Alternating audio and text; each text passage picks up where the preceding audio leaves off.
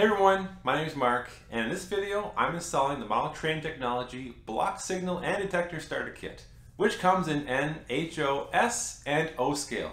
Stick around to the end to get my thoughts on the process and the product. Jim Lewis founded Model Train Technology, and the company is based out of Orlando, Florida. They have a YouTube channel and a website, and I suggest you check them out if you're interested in automation on your layout. For years, I've been looking for a simple way to create flashing signals at a grade crossing. And when I came across this product, I was very hopeful. I purchased the starter set because it comes with everything you need to set up for crossing flashers, except for the actual crossing flashers. You can add them to the kit, but I already bought some from Walthers. It comes with two manuals, a very small screwdriver, a signal controller, a power module, and a power cord to plug your power module into the wall. Before I go on, let me explain that I'll be showing you specifically how I set this up for Walthers crossing flashers. This system can do so much, and again, I encourage you to watch the videos or visit the website to see for yourself. First I plugged the power module in and turned it on.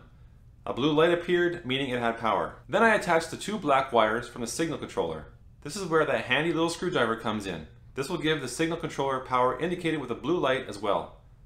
And as you can see, there are many ports on the power module, meaning it can send power to several components. Then I attached the two red wires from the precision detector to the power module, giving it power, and the yellow I attached to the signal controller.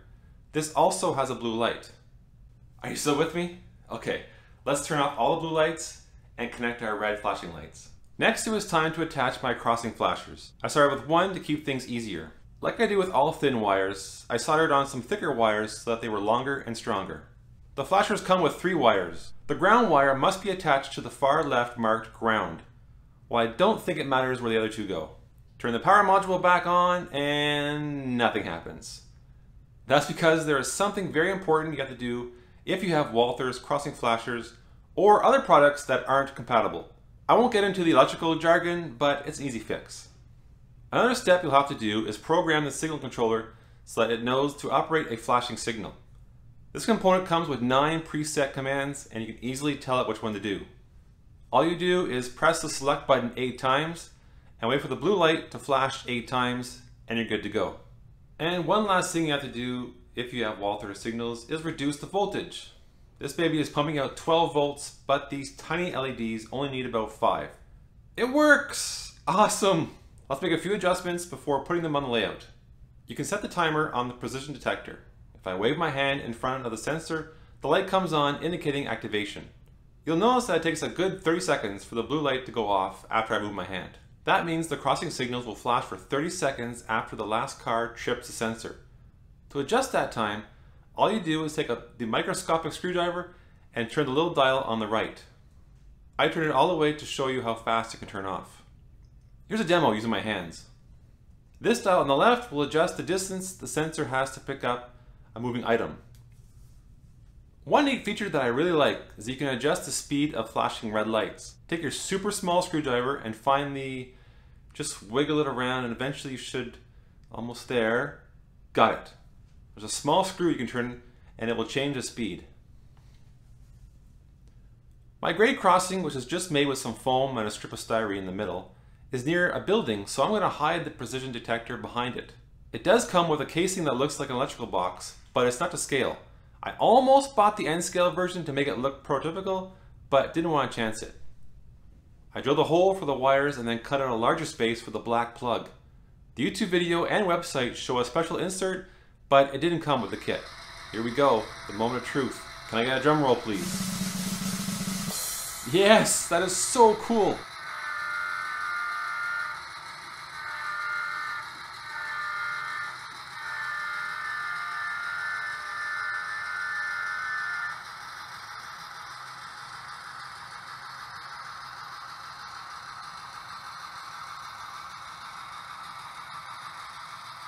I waited so long to have a feature like this on my layout. And they stopped. Well, that's an easy fix. I'll adjust the timer. It may take a few test runs before I get it right. Uh-oh, here comes another train on the outside track. It's headed right for the sensor. Surely it'll trip the... Oh, wow. That is so cool. The precision detector didn't even notice that second train. I am so pleased with... What's that? Does it work in the dark? Hmm, I don't know. Let's try it. It does! What if someone comes in with a flashlight looking for their teeny weeny screwdriver? It still works! What if your kid runs in and starts flicking the lights on and off? Still works! Incredible! These precision detector sensors are non-infrared, which I think plays a part. I am very pleased with how this all turned out. So pleased, in fact, that I bought another sensor for the other side of the flashers, so if a train comes in the other direction, the lights will go off as well. I also purchased the magnets that attach to the power module and the signal controller so I can easily attach them under my layout. If you do plan on purchasing this set, I recommend that you bite the bullet and buy all the components from Model Train Technology, including the signals, because they'll probably work a lot better and look just as good as any other ones you can buy off the internet. Thanks to the help of some editing, this whole process seems flawless, but I did encounter some bumps and hiccups along the way. So the following criticisms are not deal breakers, just things you should be aware of so that you don't make the same mistakes I did. First, I found the instruction manuals a little difficult to follow.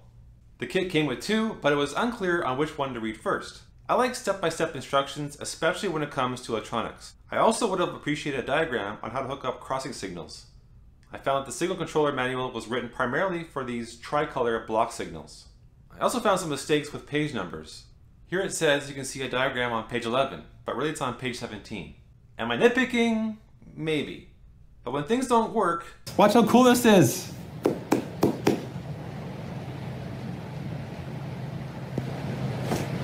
Oh my gosh. Of course, of course it doesn't work!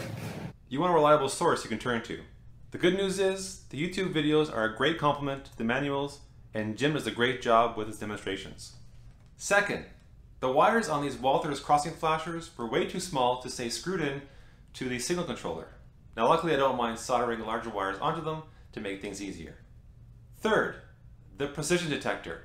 It may be tricky for you to install since the black plug is not round but rectangular. Just something to plan ahead for. Fourth, although the signal controller is quite easy to program, you never know what mode it's set to. For instance, the default setting is that it's set to deliver 12 volts.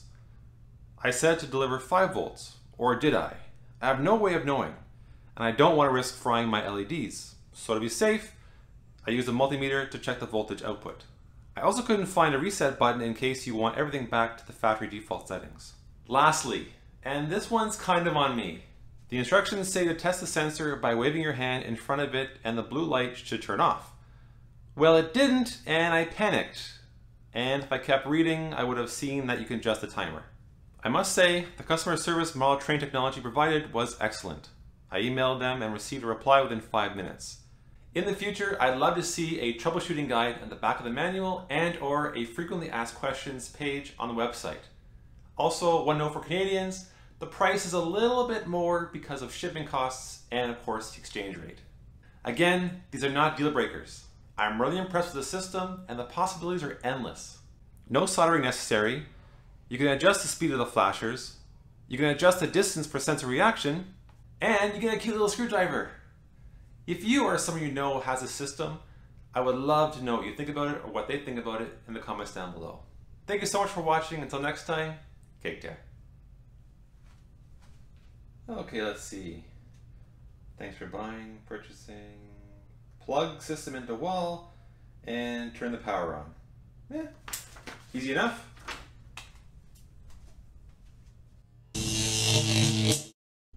Oops. I guess I better read the entire manual. Now where's that flashlight? In this video, nope. I won't get into the electronical jargon. I won't get into the electro electrical, electrical, electrical. Thanks to the help, which is available in NHOS and O. Stick around to the end and I'll give you my thoughts on the process and the product.